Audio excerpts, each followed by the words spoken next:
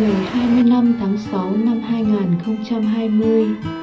Lẽ ra, giờ này chúng tôi đang ở Việt Nam tổ chức đám cưới trên một bãi biển xinh đẹp.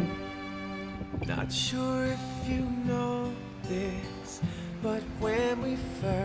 met, I got so nervous I couldn't speak.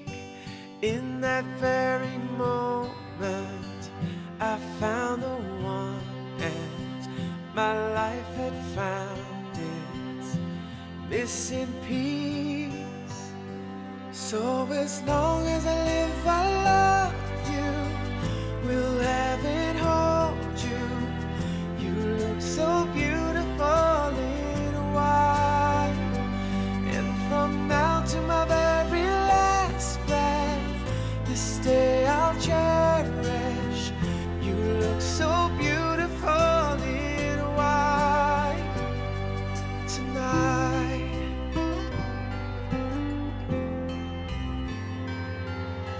What we have is timeless.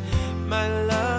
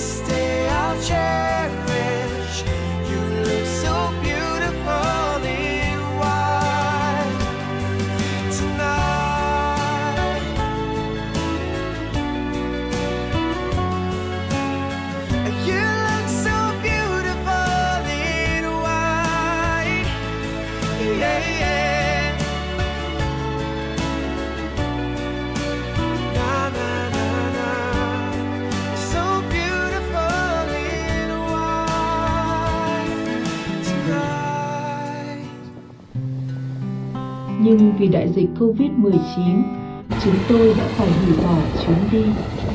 Anh yêu, em rất tiếc về điều này. Vì em biết anh đã rất mong được gặp gia đình em và chúng ta sẽ kết hôn. Nhưng vì sự an toàn của chúng ta và những người thân yêu mà chúng ta đã phải quyết định hoãn đám cưới để cho phép cuộc khủng hoảng khủng khiếp này qua đi. Đây là một quyết định rất đau lòng, nhưng gần như không đau lòng như ý tưởng khiến chúng ta và những người thân yêu gặp nguy hiểm.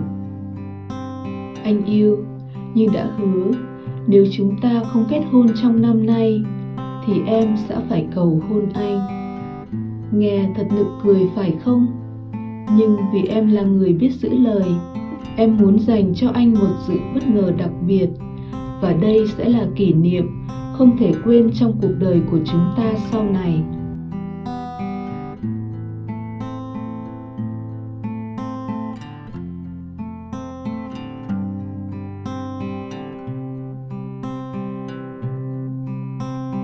Why?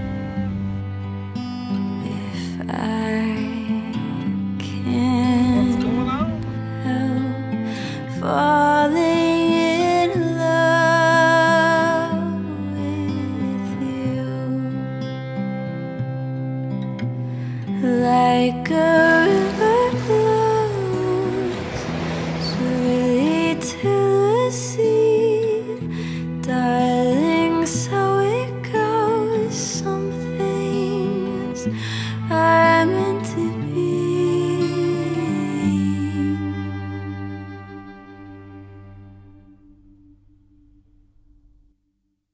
So take.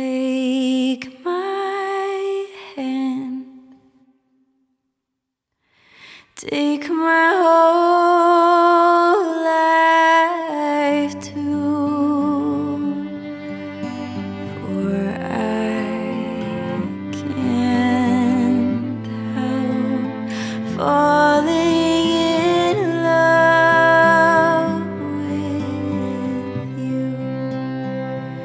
For I Khi đến đúng thời điểm, hôn nhân là sự cam kết trọn đời của hai người. Đám cưới chỉ là một bữa tiệc có thể được lên lịch lại. Vì vậy, đó là cách chúng tôi đã quyết định thực hiện. Tình yêu là sự kiên nhẫn và chúng ta sẽ sớm ăn mừng thôi. Còn bây giờ, xin hãy cùng chúng tôi giữ an toàn cho thế giới của chúng ta nhé.